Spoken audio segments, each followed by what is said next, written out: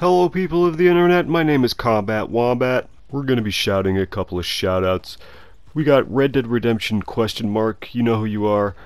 Arthur Morgan 179, Red Dead Redemption 2 online events. Clutch Mauro, GTA V Goddess, Outlaw, Foreverita, Riggs, and Cute Lilies Art. What's up guys? Welcome to the channel. Hello people of the internet, my name is ClickedTazer. Taking a brief time out from roasting badass awesome YouTubers such as Cernando and 0.4, who, let's face it, have way more talent, sex appeal than I'll ever have, and it shows in the difference in subscribers. Absolutely nothing to do with fake giveaways and tricking children into thinking their clickbait garbage is worth watching. Moving on from people that are better than me in every way, we've done two other rare horse videos on the channel and I thought I'd make it three for three and show you guys how to come across the Mustang Tiger Stripe Bay. Now, unlike the American paint, this does have a set spawning location which is over in New Austin.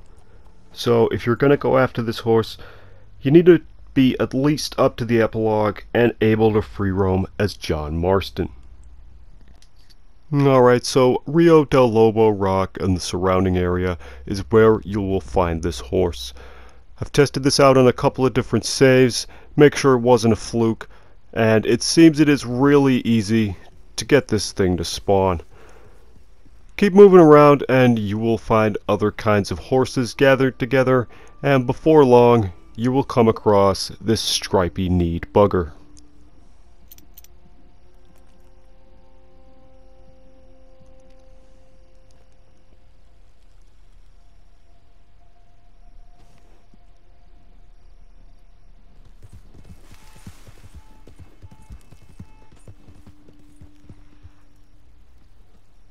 Oh shit, Popsicle, he's running. Drown. So, I tried a couple of methods of catching this horse, one day and one at night. Which doesn't seem to make that much of a difference either way. This thing kinda spawns quite easily. Also, I tried walking up to it and trying to calm it before jumping on. Maybe I didn't do it right because, uh, just started running straight away, but I'm sure I've seen other people do it, so it, it's up to you. If you want to give that a try, you can go for it, but definitely the easiest way for me was to just chase him down straight away, because every time I tried to approach him it had run. And unlike the Arabian, in a more confined area, the Mustang has a lot of places to run.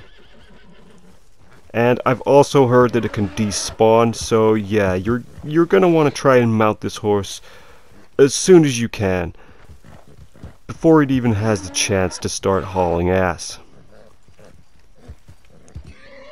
If you're not familiar with how to break horses, the basic idea is you want to resist the direction that the horse is trying to run.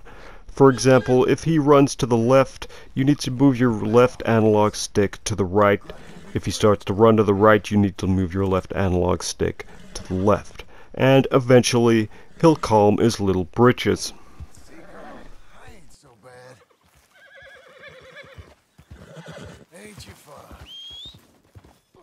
If you're anything like me, you like to saddle up your horses straight away to just make it your personal horse and make it official. Look at those sexy tiger stripes. Always manage to ruin it.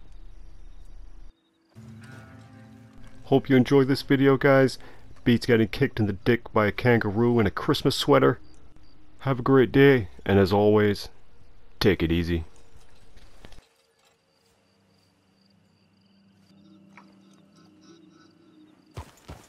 That's a good steed there. Thank you.